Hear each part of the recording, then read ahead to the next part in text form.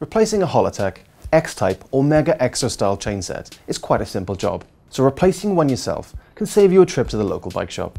These chainsets are defined by having an axle attached to the chainring side, with an offside crank that is bolted on. It's a good idea to check what type of bottom bracket system you have before attempting the job.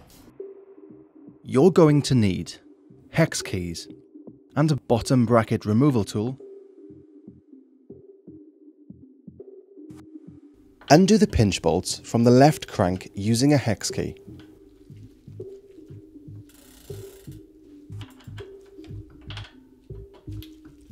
Remove the plastic preload cap from the left hand crank with the plastic part of the bottom bracket removal tool. You should now be able to remove the crank from the axle.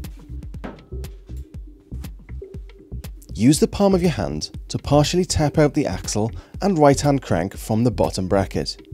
You can use a rubber mallet if it's seized.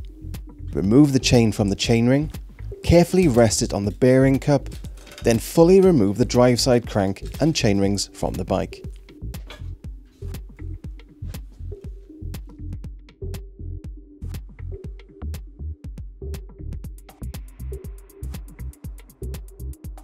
Insert the drive side crank through the bottom bracket, not forgetting to pass it through the chain first. Hold the frame and give the crank a tap with your palm. Don't use a hammer, it's not needed and will stress the bearings. Return the non-drive side crank to the axle.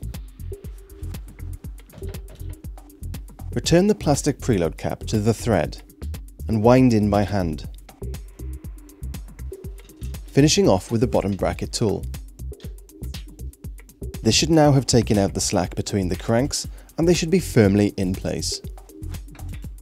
Finally, tighten and torque the bolts on the crank. These need to be tightened as a pair, so wind one until it becomes tight, then repeat with the other. If you have a torque wrench, tighten to 10 newton meters both sides, then 12, 14 and so on until you reach the stated torque. Your bike should now be ready to test ride in a safe, car-free area.